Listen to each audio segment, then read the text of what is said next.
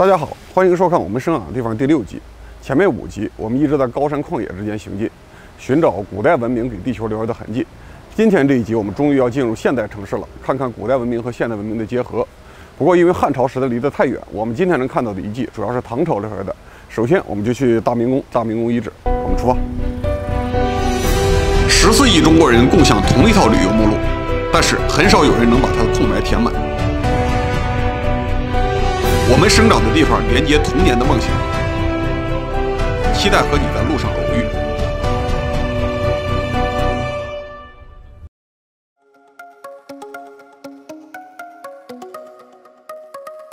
早期王朝的宫殿面积都比较大，现在我们经过大片的草坪，这这当年都是大明宫内部的各种的建筑分布的地方。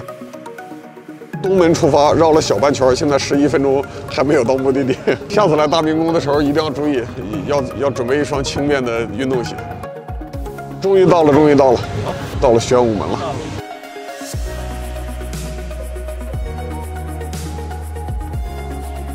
来来到大明宫的北边，首先看到这么一个门状的雕塑。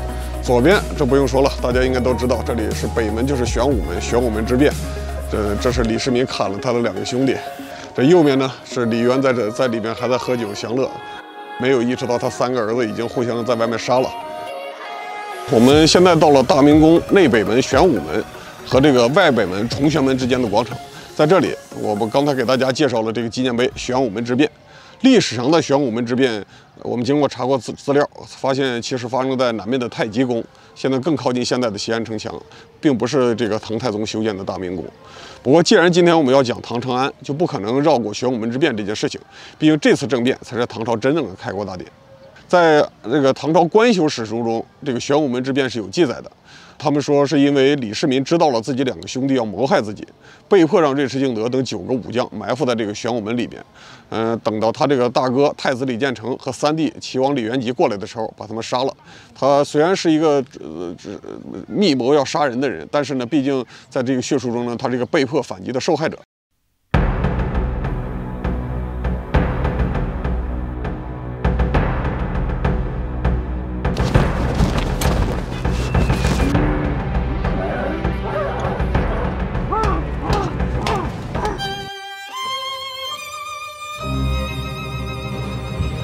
这刚才演的啥呀？一会儿进去我给你们细说。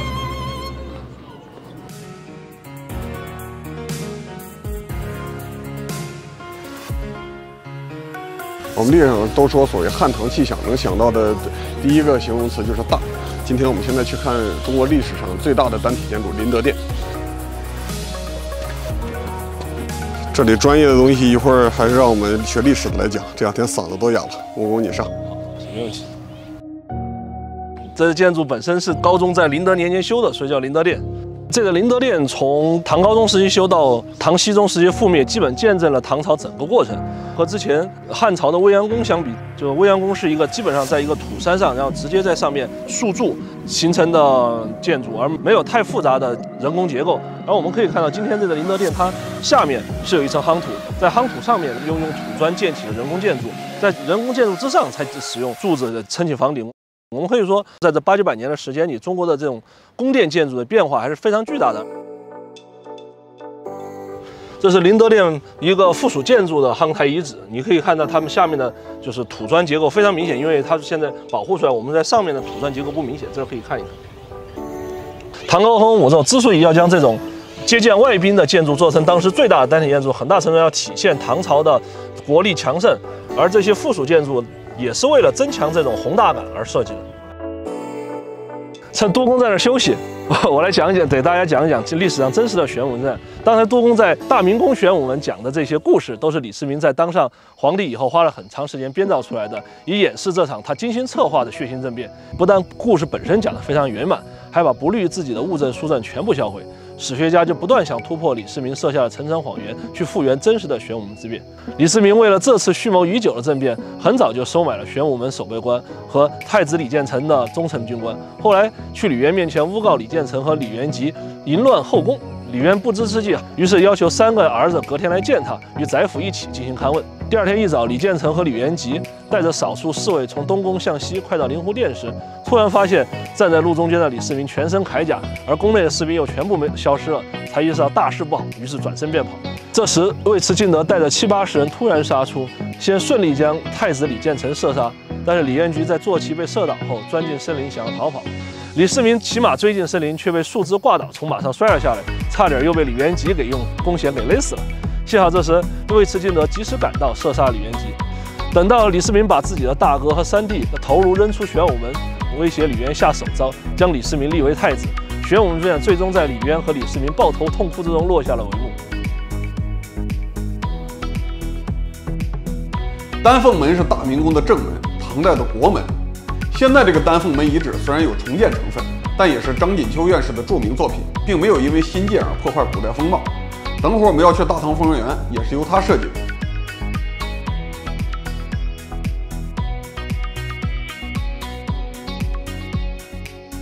看完丹凤门，接下来我们要去小雁塔。既然来到西安，我们肯定要看大雁塔和小雁塔。所谓小雁塔，就是我身后的这座寺庙建福寺。这座寺庙是武则天时期修建的，用来纪念她的亡夫唐中宗李显。小雁塔的形制从武则天修建开始到现在没有什么明显的变化。唐长安城的功能分区，我们这里要说一下：东部以官僚和贵族为主，西部聚集了很多的商人和武官。长安的商人中，来自外地乃至外国的是很多的，所以西部的国际化味道更浓一些。这里小雁塔是唐安唐朝长安的城西首寺，是佛教中外交流的中心。在这种交流中，最重要的还不是我们经常说的唐僧玄奘，而是在小雁塔里边可以看到的一位人物，也是去印度取经的中国和尚义净，以及东渡中国求法的日本和尚猿人。除了义净和猿人之外，现在看来，这个和这个建福寺有关的唐朝僧人，大概有一半都来自于国外，是唐朝长安国际化大都市在宗教方面的最具体的体现。哦，这里是碑林区小雁塔小学。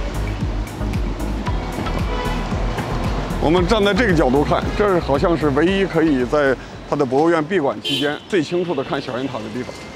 很羡慕这座小学的学生了，生活在这么一个地理标志物身边。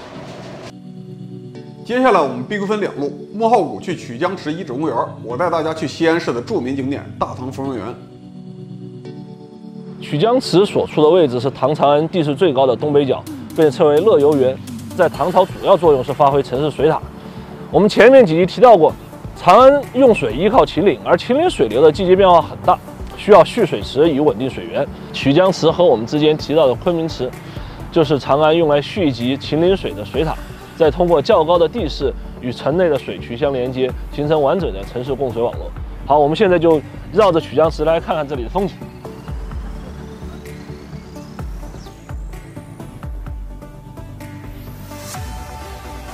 这里曲江池主体部分作为唐朝的官方园林，作为重要的部分，则是每年科举后举行的官宴，也称曲江会。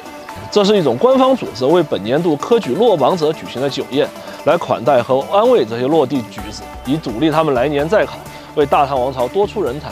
另一类则是考中的进士举行同年聚会。中举者的曲江会往往会极尽奢华，长安城中大小商人都会在此兜售商品，而皇帝与大官僚们则会在城楼上。观看宴会，趁机选取驸马和东床快婿。我们现在已经到了曲江池和大唐芙蓉园的分界点。虽然说曲江池和大唐芙蓉园都最近十几年重新修建的，但是从功能看还是很好的恢复了历史气，是让千年曲江再次焕发了活力。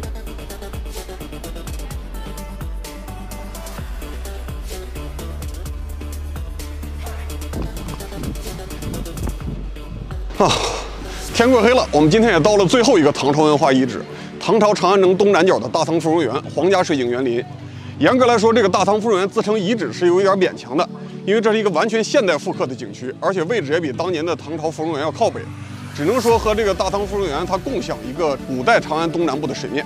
但是唐朝到现在也已经十二个世纪了，即便这里曾经是唐朝的首都，想找一个完整的唐朝建筑群已经很难了。我们回顾一下今天这个旅程，大明宫只剩下宫殿地基，大雁塔、小雁塔虽然保留了，但这是因为宗教因素保留的单体建筑，而且最初的那个唐代外表也几乎看不到了。如果我们在西安还想体验全面的唐朝建筑风格，就必须进入这个现代景区。这座楼呢是大唐夫人的核心景区紫云楼，它在很大程度上，呃或或者说完全已经是一个现代建筑了，但是它还是努力保持唐朝的风貌。比如下面它做了一个很高的台基，以唐朝的技术呢，做很高的楼有困难，他们就尽量用夯土台基这种方式，简单粗暴，呃来来增加这个建筑的高度。大唐芙蓉园的确是曲江文化产业投资集团的商业开发项目，但是这个项目的主持者非常值得一提，张锦秋。关于这个紫云楼是什么样子的，史书里没有任何记载。张锦秋先生是到敦煌壁画里找了类似的图样，然后才设计这样一个风格。比如说周围这四个阙亭，这就是在敦煌壁画里来的。嗯，至于当初有没有这样的立交桥能够把这些建筑连在一起，那我们就不得而知了。但我猜是应该是没有的。但总的来说，不管是从这个色调，我们看它是红白两色，它还是这种台基上面接高楼的风格呢，它我们只要承认它是一个唐朝风格，我们也只能是这样去看了。好，我们去看看其他建筑。这个东西它明显不是唐朝风格，就是清朝的颐和园里边那个石坊的风格。它不管怎么说，是古代东西，放在这里也算不错。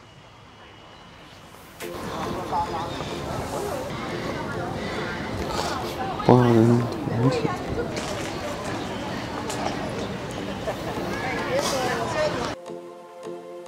这里又是一处现代仿唐式建筑，仕女阁。看到这些仿古建筑，有一个人是不能绕过去的，或者说来到西安市，我们就必须提这个人——张锦秋。张锦秋出生在抗日战争期间，今年已经八十四岁了。他的父母都是建筑师。解放以后，张锦秋也到了清华大学建筑系去读书，导师是梁思成先生。他接手了梁思成和林徽因整理的大量的唐代建筑资料。读书期间，张锦秋认识了男同学韩继。这两个人结婚以后，为了支援落后地区，都离开北京到西北工作。八十年代，张锦秋是西安这边的中建西北设计院总建筑师，她的老公韩继是西安规划局局长，联手设计城市，努力在现代建筑中结合古代风格。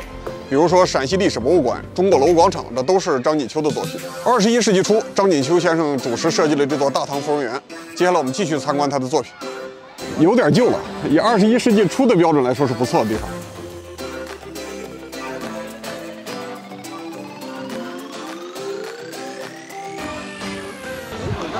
啊，豆腐算了，我要吃甜食。是什么醪糟？对，醪糟。把，醪糟来一份啊。唐朝这时候也没什么高度酒，就拿这玩意儿也就算酒了。天黑一点之后，这边景色又漂亮了。其实古代建筑和现代建筑相比，差别最大的还不不是形式，还真的就在于灯光。唐朝的时候，它是没有黄色的瓦的，没有琉璃瓦，所有的瓦片都是黑的。你现在一眼看过去，如果没有灯光，一片黑乎乎的，它就不好看。现在电灯拯救了，古代要想照的这个效果，那没办法，那只好点很多灯笼，点很多火。以年为单位的话，它被把自己烧掉的概率可能是百分之百了。一会儿我们要到船上去看一看大唐芙蓉园的整体夜景。大唐芙蓉园现在代名春夜清明，车大大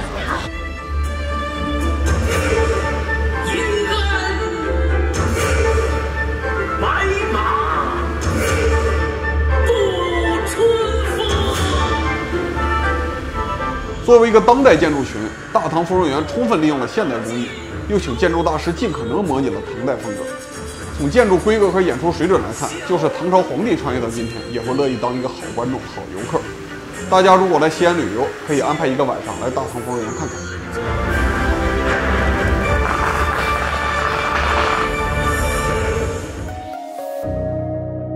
我们在这个历史和现实结合的景区结束了第六集，欢迎大家继续收看我们生长的地方。明天再见。哎，对吧，你这帽子还戴着，还戴着，还挺有样子的。哎，这摘摘下帽子，大家可以看看细节了。这是前两天给大家拍节目的一个，算是一个小小的战利品。我上次被晒退，被晒到这么蜕皮，还是我大学搞测量的时候。